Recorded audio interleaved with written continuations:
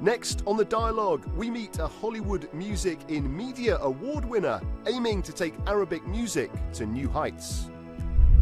لهنا أهتم الآن طموحي هو مشروع تقديم أغنية خليجية آه، عربية للعالم آه، بشكل ما يفقد روح الأغنية الخليجية والعربية I am Fahad Al-Kubaisi, award-winning singer. Fahad Al-Kubaisi, please welcome.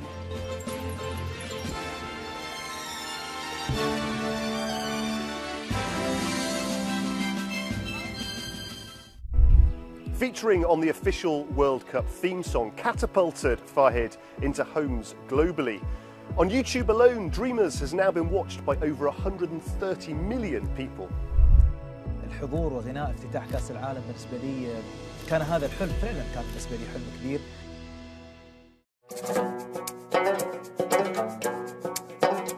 Fahid, thanks so much for joining us on the dialogue here at this amazing location at Katara in the amphitheatre.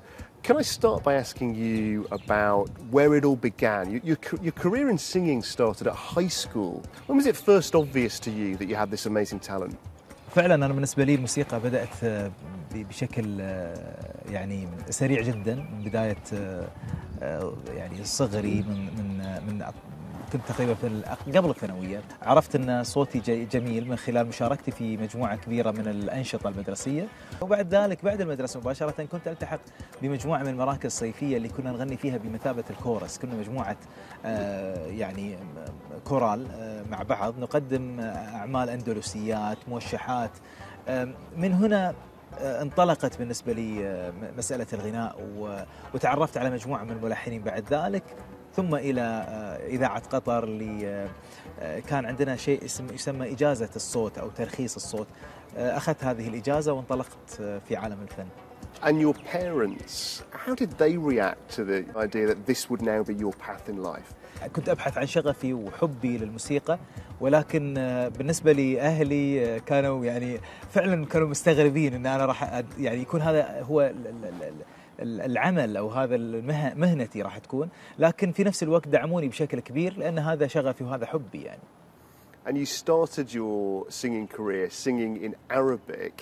You then transitioned to also sing in English. When you're trying to connect with an audience, is that is that a difficult transition to make? طبعا بلا شك يعني هي صعبة جدا انك آه، تغني بال- باللغتين في آن واحد الامر يحتاج حضور ذهني يحتاج تركيز ولكن غالبا آه، وقع جميل جدا على الجمهور لأنك تكسب الجمهور كله من كل من كل الطوائف سواء اللي يسمعون اللغة العربية أو غير متحدثين باللغة العربية أنك تغني بأكثر من لغة هذا أمر جميل جدا وهذا فعلا يجعلني أستمر وأفكر فعلا بأن آه، تكون معظم الأغنيات في المستقبل إن لم تكن بلغة ثانية أن تكون على الأقل مترجمة بلغة ثانية. Uh, you then went on, of course, to perform at the World Cup in front of billions of people.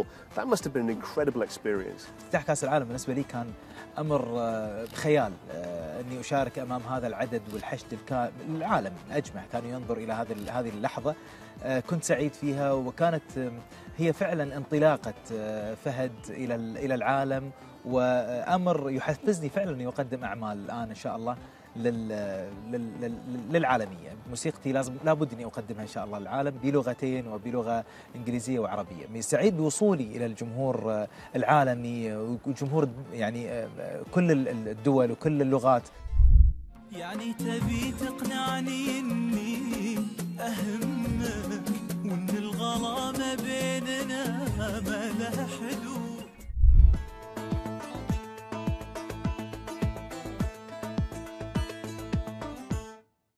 Now, Fahid, as well as being a performer, you're also a, a producer. Uh, you produce a radio show as well, and part of that is tied to how you support and encourage the next generation of people in the region, isn't it?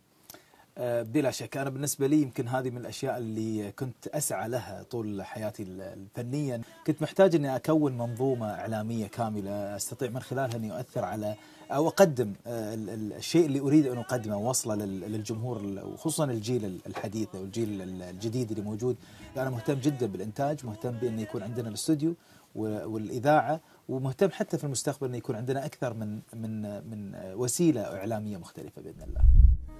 هو السؤال اللي لقى في قلبي الطاهر صار صدى ليه كل ما اجيك واقرب لك حبيبي تبتعد And, and you've been involved in a wide range of different types of music, but something that you've brought to the attention of lots of people is Haliji music. Yes. For those that don't know about it, how would you describe that genre?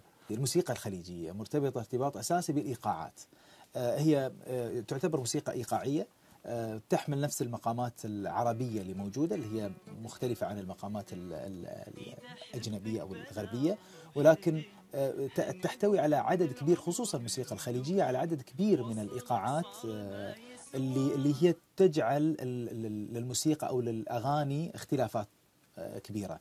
عندنا إيقاعات آه، تتعلق بالنسائية عندنا إيقاعات ع- رجالية عندنا إيقاعات تعزف فقط في مناسبات معينة.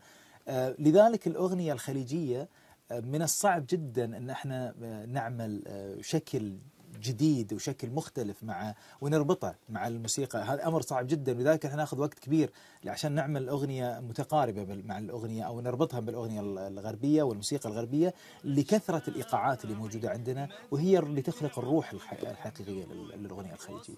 صار ما يسوى أقول إن الحياة بكبرها ما لامها داعي So it has this kind of rich heritage, but can it also, do you think, is it a type of music that might perhaps break through into Western audiences as well?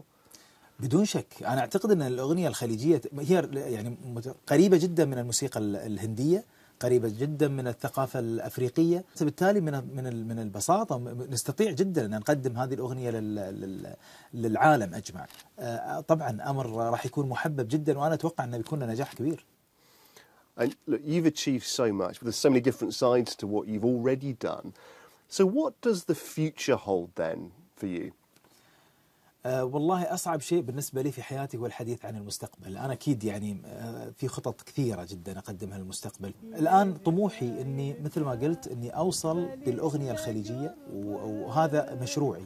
هو مشروع تقديم أغنية خليجية أه عربية للعالم بشكل ما يفقد روح الأغنية الخليجية والعربية ولكن أيضا يظهرها بشكل جديد ومتطور جدا.